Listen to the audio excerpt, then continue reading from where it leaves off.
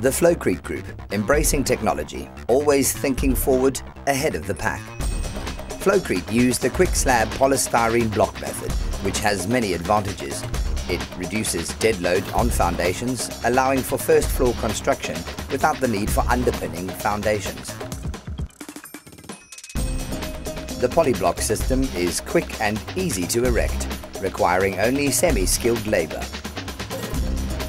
In this Flowcrete project, the new All Cars premises in Old Main Road, Pinetown had severe time constraints on the construction period, so the owners opted for the Quickslab system.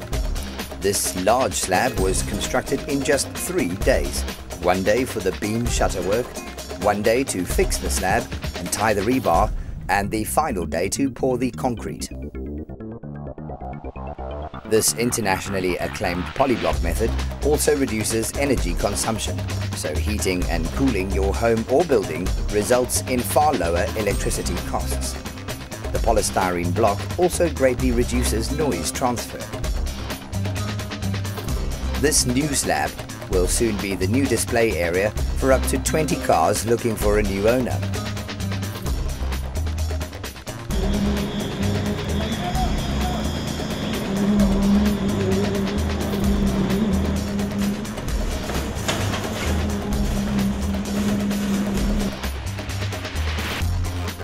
The polystyrene used today is environmentally friendly and complies with industry fire ratings.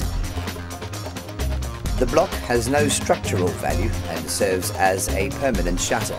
The undersides of the blocks are perforated, allowing for them to be plastered.